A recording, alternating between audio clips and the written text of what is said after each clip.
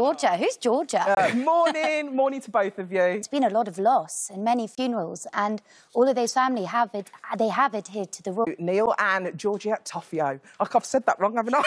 I feel off. Personality here that when when someone does pass in, Andrew, what's your take on on that? It's always what she's done, and I suspect Uh, the Queen also faces What's prostitution. your take on that? I mean, the, the Buckingham Palace has said we. William. What you, what's your take? Yeah, I think Yeah. so sad. I think we've just got to keep. Let's move on to.